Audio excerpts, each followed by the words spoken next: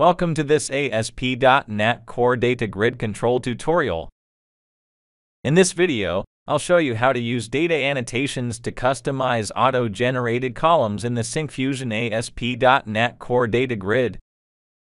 To customize the auto-generated columns, you can use data annotation attributes like display, display format, key, and editable, First, I'll open the existing ASP.NET Core Web application where I have added the data grid control. I have also bound order data to the grid control using the data source property. I've added the grid columns tag to customize columns.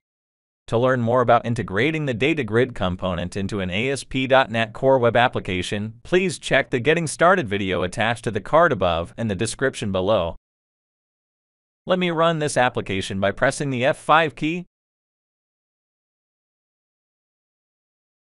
See, the grid is rendered with columns order ID, customer name, and more. To enable automatic column generation, I'll comment out the eGrid columns tag. As a result, the data grid control will render with columns automatically generated based on the fields defined in the order details model class. Look, the data grid renders with auto-generated columns based on the order's data source. Next, I'll show you how to customize the auto-generated columns by utilizing data annotation attributes such as display, display format, key, and editable. These attributes serve multiple purposes, including defining the column header text, formatting cell values, and designating the primary key column. First, I need to specify the type of data bound to the grid control to work with data annotation. So I declare the variable type and get the type object for the order details model class using type of operator Next, assign this type object to the grid control using tValue property.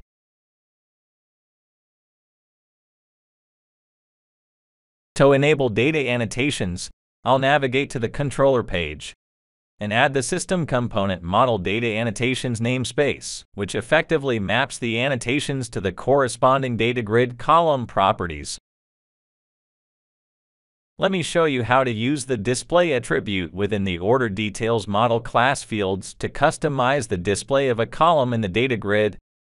The display attribute offers customization properties such as name, short name, order, and more.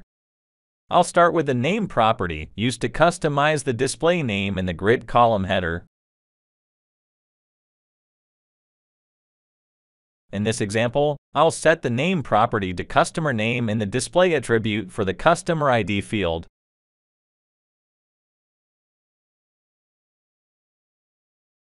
See, the header text has now changed to customer name. Notice that the format of the freight and order date columns is not proper.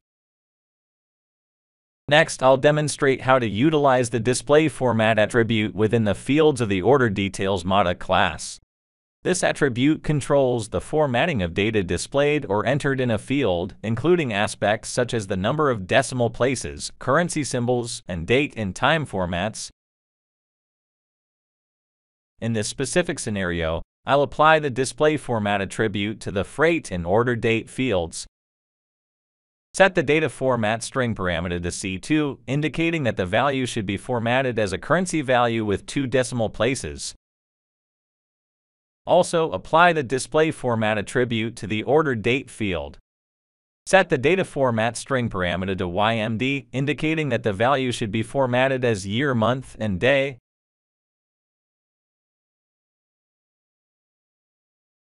Notice the data grid, the freight column now displays currency values with precision, and the order date column now displays year, month, and day values. Next, I'll show you how to use the key attribute within the order model class. The key attribute defines the primary key for entities within a data model. When applied to a property or field in the model class, the key attribute signifies that this particular property uniquely identifies each entity in the data grid.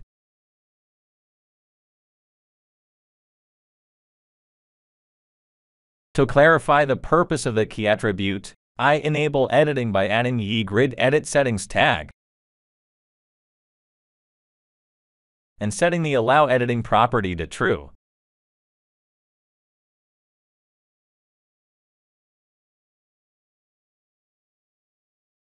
Moving on to the controller's order details class, I set the key attribute for the order ID property.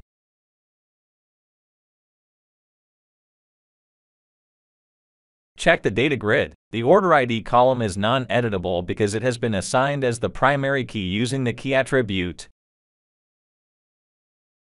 Finally, let's see how to use the editable attribute within the order details model class. This attribute is a useful option to indicate that a property or field should only be used for reading data and should not be updated or modified. To implement this, I set the editable attribute to false for the freight property.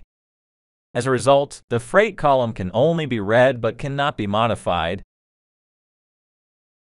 Let me show you what happens when I attempt to edit the first record.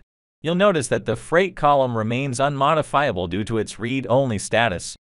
If you wish to make the freight column editable, set the editable attribute to true. In this video, I covered how to customize auto-generated columns in the ASP.NET Core Data Grid using data annotations. Additionally, I showed you how to use attributes such as display, display format, key, and editable.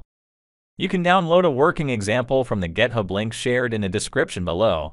You can also see if you're eligible for our community license, which will get you a free license key to use our products.